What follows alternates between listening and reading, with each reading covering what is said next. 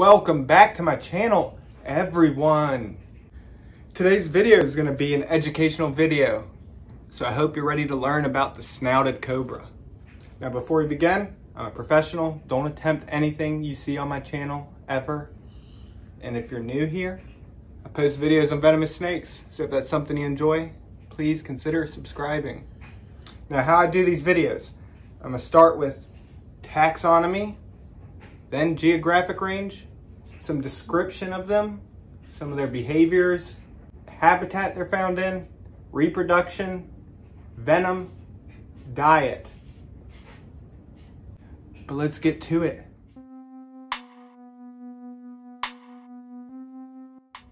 Taxonomy. Now that's classifying, labeling, grouping organisms. Now, true cobras are in the genus Naja, and the snouted cobra is Naja annulifera. So the species is annulifera. Now with this, they were once considered a subspecies of the Egyptian cobra, Naja haj. So was the Anchieta's cobra, but they were separated. The Anchieta's cobra was then considered a subspecies of the snouted cobra, but now it's been separated into another species as well. So, Naja annulifera, the snouted cobra. Another common name is banded Egyptian cobra, which is weird when we go talk about geographic range because they're not found in Egypt. It must be because they were considered a subspecies originally of the Egyptian cobra.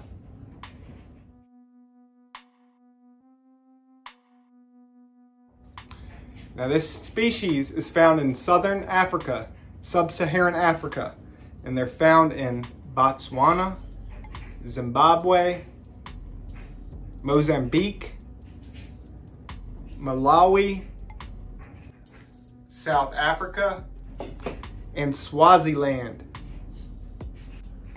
I probably pronounced some of those wrong. That's something I do a lot here, pronounce things wrong.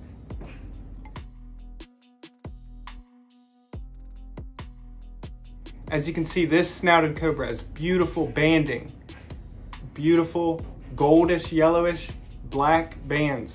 Now the bands can be even purplish, just very beautiful, but they also can be very bland looking. And I'm gonna show you another snouted cobra that doesn't have these bandings. So check out this snouted cobra. No bands, almost blackish, purplish. It's hard to see in here, but it's sort of purple. Very beautiful. Look at the belly. Yellowish, golden. So there's variability of their pattern and color throughout their range. The banding ones are my favorite. Now this black coloration on the bottom of the hood is more pronounced in the babies, as you can see here.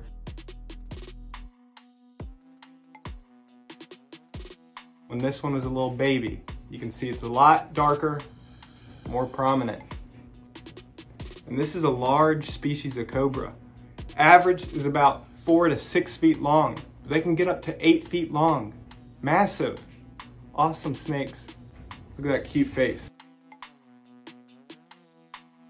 And the common name, let's see if you can see the semi upturned snout. So that's where they get the common name snouted cobra cute.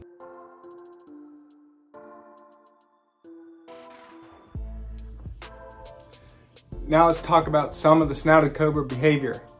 Like any species of cobra, when they feel threatened, they'll hood up, they'll hiss, they'll strike if they feel they need to, but like any snake, they prefer to flee if given the chance.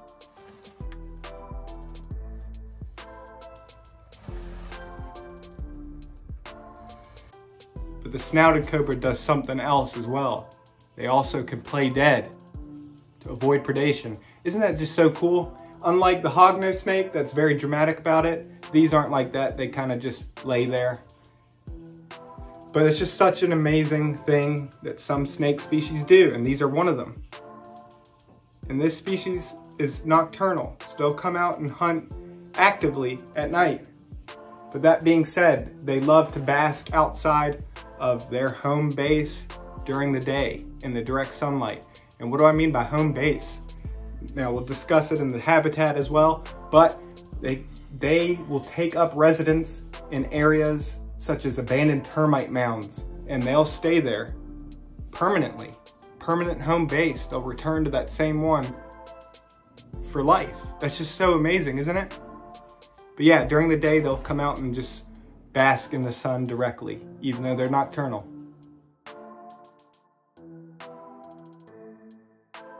The habitat they can be found in. They can be found in arid and moist savanna and even woodland areas. And like I mentioned, they'll take up permanent bases. So for example, in abandoned termite mounds, as I mentioned earlier. That's just so fascinating.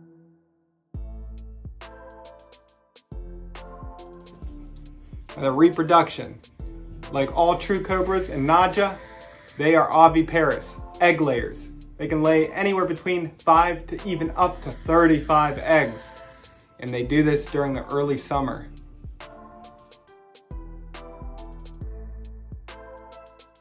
The venom of the snouted cobra. They contain complex mixture of neurotoxins, postsynaptic neurotoxins. And neurotoxins are fast acting. And it's required for the prey that they are targeting.